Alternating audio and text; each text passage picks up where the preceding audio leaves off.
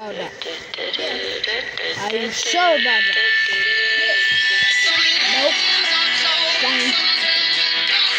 Nope. Fine.